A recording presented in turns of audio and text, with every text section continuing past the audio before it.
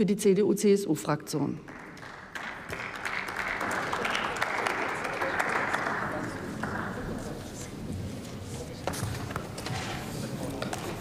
Frau Präsidentin, meine Damen und Herren! Natürlich hat die gruppennützige Forschung an nicht mehr einwilligungsfähigen Erwachsenen eine ethische Dimension. Und deshalb ist das Verfahren, das wir gewählt haben, hier offen zu diskutieren, über die Fraktionsgrenzen hinweg am Schluss Beschlüsse zu fassen, ein richtiges Verfahren. Ich möchte aber einleitend darauf hinweisen, dass sich das Thema nicht eignet für Skandalisierungen so wie wir das auch erlebt haben im Rahmen der Debatte. Es ist deshalb nicht geeignet, weil wir das, was Ärzte in der NS-Diktatur gemacht haben, damit bagatellisieren würden. Es ist nicht geeignet, weil ich jedenfalls ein großes Vertrauen habe in die forschende Ärzteschaft. Und es ist auch nicht geeignet deshalb, weil wir hier nichts anderes tun, meine Damen und Herren, als äh, eine Verordnung, die europäisch uns vorgegeben ist, weiter zu präzisieren und zu verschärfen. Also geltendes Recht, nämlich äh, europäisches Recht, das die gruppennützige Forschung an nicht mehr einwilligungsfähigen Erwachsenen unter bestimmten ganz engen Auflagen tatsächlich ermöglicht.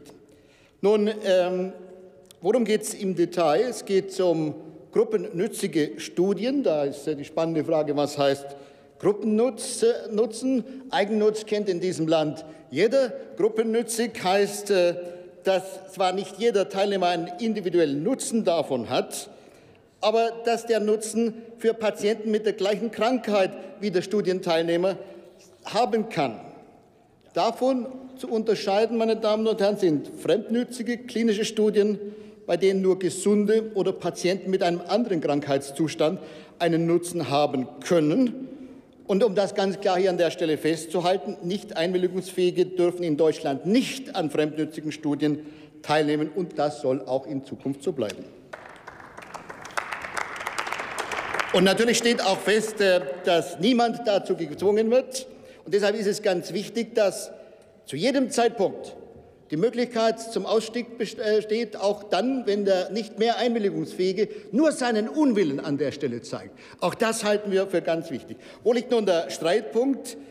Der Streitpunkt geht um die Frage, kann jemand das für sich zu einem Zeitpunkt, wo er noch, nie, noch einwilligungsfähig ist, zu einem Zeitpunkt, wo er noch einwilligen kann, kann der das in Voraussicht für die Zukunft selbst für sich entscheiden?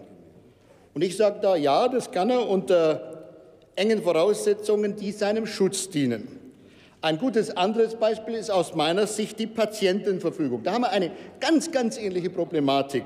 Ich entscheide für mich heute, wo ich noch gesund bin, was passiert an meinem, wenn mein Leben dem Ende zugeht, wenn es um die Frage geht, lebenserhaltende Maßnahmen. Nun wird jeder verstehen, dass das jedenfalls eine andere, eine größere, weitere Tragweite hat, als heute zu entscheiden, dass ich minimalinvasiv, minimalinvasiv, nur darum geht es, mich an Studien beteiligen möchte. Und weil die Patientenverfügung tatsächlich äh, Realität ist in Deutschland, Gott sei Dank, weil sie vielen Menschen dann auch hilft, bin ich der Auffassung, dass wir auch die Möglichkeit schaffen sollen, dass jemand für sich entscheidet, ich möchte für andere etwas tun. Darum geht es nämlich. Darum, im Rahmen eines Selbstbestimmungsrechts zu sagen, ich möchte für andere etwas tun im Rahmen der gruppennützigen Studie, vielleicht weil ich Erfahrungen habe, beispielsweise im familiären Umfeld, weil ich erlebt habe, wie es meinem Großvater ging, wie es meinem Vater ging und weil ich selber einer Risikogruppe angehöre, mir der Arzt gesagt hat, das kann dir auch blühen. Und dann ist es doch ganz naheliegend, dass so jemand für sich entscheidet, jawohl, dann möchte ich immerhin in dem, Studi in dem Stadium wo ich nicht mehr einwilligungsfähig bin, wo man tatsächlich an dieser Krankheit, die dann fortgeschritten ist, forschen kann, etwas dafür tun, dass wenn man schon nicht mehr mir hilft, dass man dann doch wenigstens anderen hilft. Und ich sage Ihnen auch, das hilft, wenn man das so regelt, hilft es auch zu vermeiden, dass man einen Eigennutz vortäuscht, forscherseitig, und äh, über den diskutieren muss, sondern dass man offensiv sagen kann, die Wahrscheinlichkeit, dass es dem Patienten hilft, ist überschaubar. Aber gruppennützig ist es auf jeden Fall. Und meine Damen und Herren, gruppennützig heißt natürlich altruistisch, ich tue etwas für andere. Und meine Damen und Herren, das sage ich jetzt an diejenigen, die aus einem, wie ich auch, aus einem christlichen Blickwinkel argumentieren. Nächstenliebe ist ein tragendes Prinzip des Christentums. Und dann soll mir jemand sagen, Eigennutz, das geht von Christen. Aber einem anderen zu helfen, das kommt nicht in Frage, das ist nicht zulässig, das soll der Staat verbieten. Das ist doch der falsche Ansatz. Wenn man das dann auch noch als christlich beschreibt, dann glaube ich, sollte man da noch mal ernsthaft in sich gehen und genau darüber nachdenken.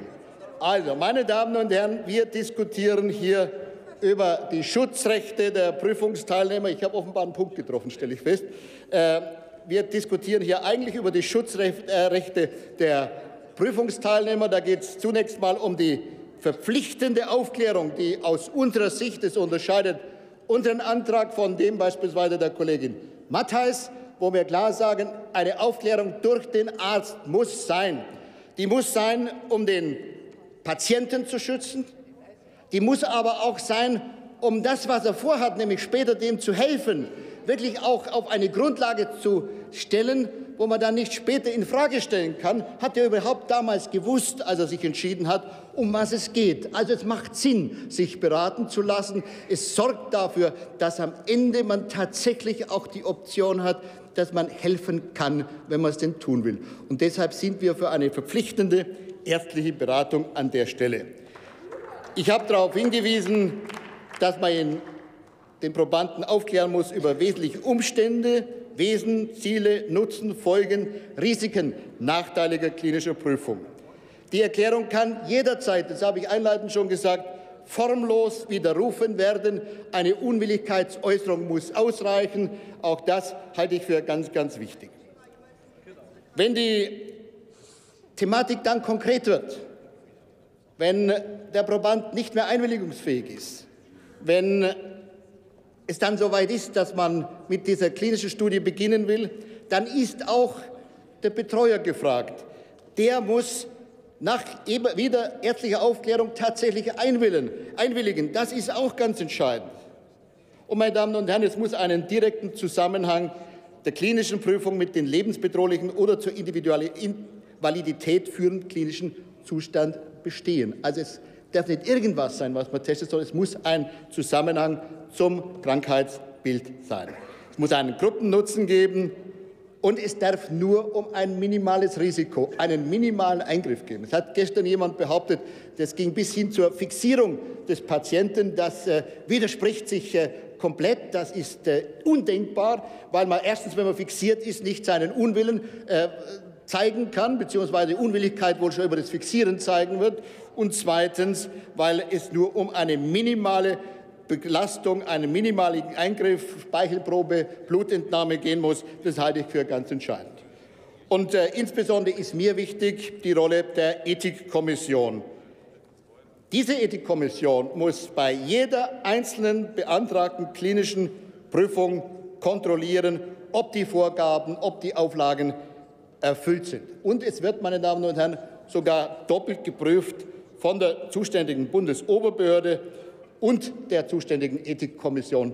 Doppelte Prüfung, das ist gut und das ist richtig so. Und ganz wesentlich, ganz wesentlich ist, es darf keine finanziellen oder anderen Anreize geben. Auch entscheidend. Wir wollen da nichts kommerzialisieren, ganz im Gegenteil. Ich will auch darauf hinweisen, dass eine gruppennützige Forschung mit Menschen, die bereits als Kind einwilligungsfähig waren, weiterhin verboten bleibt. Also es geht auch nicht um Minderjährige an der Stelle. Und äh, ich glaube, dass das, meine Damen und Herren, was wir hier in einem Bundesgesetz präzisieren wollen, was auf europäischen Vorgaben fußt, eine Frage der Selbstbestimmung ist, die in Grenzen natürlich äh, gelten muss, das aber auch ein Beitrag dazu sein kann, schwierige Krankheitsverläufe wie beispielsweise Alzheimer in Zukunft sinnvoll zu erforschen. Das wollen wir ermöglichen, sonst nichts. Und der Schutz steht für uns an oberster Stelle. Und dieser Schutz ist, meine Damen und Herren, eben auch durch ärztliche Aufklärung zu gewährleisten. Vielen Dank. Vielen Dank, Kollege Dr. Nüßlein. Nächste Rednerin, Katrin Vogel.